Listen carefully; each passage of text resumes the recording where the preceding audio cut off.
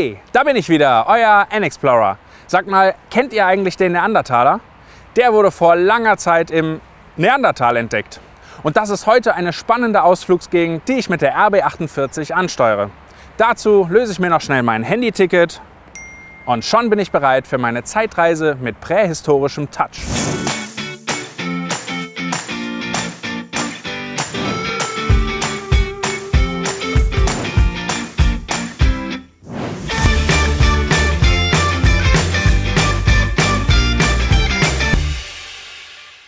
Hier bin ich nun am Bahnhof Hahn-Grüten, von wo aus ich mit der S-Bahn Richtung Mönchengladbach bis Hochdal fahre und von dort mit der Buslinie 741 bis zum Neandertal-Museum. In der Nähe des Ortes, an dem einst der Neandertaler gefunden wurde, erzählt das Museum die Geschichte der Menschheit. Und zwar beginnend bei ihren Anfängen in den Savannen Afrikas vor vier Millionen Jahren.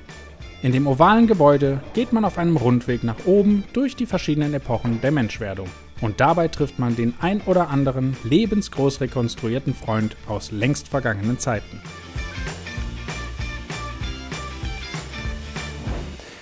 Ich bin jetzt verabredet mit Ausstellungsmanagerin Melanie Wunsch, die mir ein bisschen was zu den Exponaten erzählen wird. Hallo, Frau Wunsch. Hallo, ich bin hier. Oh, pardon, da sind Sie. Das ist aber auch wirklich verwirrend mit diesen echt aussehenden Figuren. Ja, das stimmt. Unsere Rekonstruktionen beruhen auf echten Fossilfunden und deshalb sehen sie auch aus wie lebendig gewordene Urmenschen. Und deshalb faszinieren sie auch nicht nur Kinder, sondern auch Erwachsene. Das kann ich sehr gut nachvollziehen. Was unterscheidet uns denn am meisten vom Neandertaler? Die Neandertaler waren super angepasst an die kalten Klimaverhältnisse in Europa in der Eiszeit. Und deshalb sind sie ein bisschen kleiner als wir und etwas gedrungener und äh, manchmal auch ein bisschen rundlich. Na, dann hätte ich wohl damals auch keine schlimmen Probleme mit dem Klima gehabt.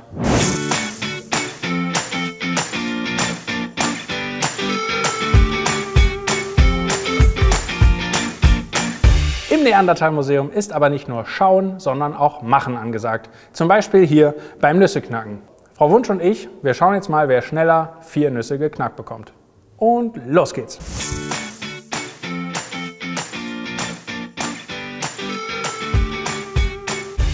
Gleichstand! Auch außerhalb des Gebäudes gibt es viel zu entdecken. Zum Beispiel den Steinzeit-Spielplatz, die Steinzeit-Werkstatt oder den Museumsgarten. Und in dem zeigt Rick Springer vom Museumsteam mir jetzt, was Kinder hier gerne bei Geburtstagen oder Workshops so machen, nämlich Feuer. Rick, ich würde ja einfach Streichhölzer nehmen. Ich würde auch Streichhölzer nehmen oder ein Feuerzeug, aber das hatten die Neandertaler natürlich nicht. Klar. Von daher mussten sie sich behelfen und zwar hiermit mit einem Feuerstein, mit einem eisenhaltigen Makasitstein und einem Stückchen Zunderschwamm. Und was man damit machen kann, zeige ich euch jetzt.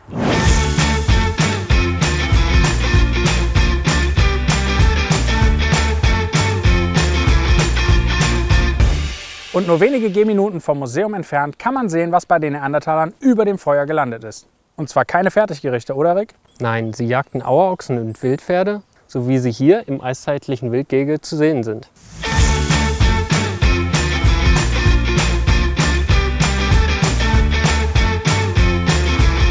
Für meinen Teil stehe ja eher auf zeitgemäße Kost, die man hier am Kiosk bekommt.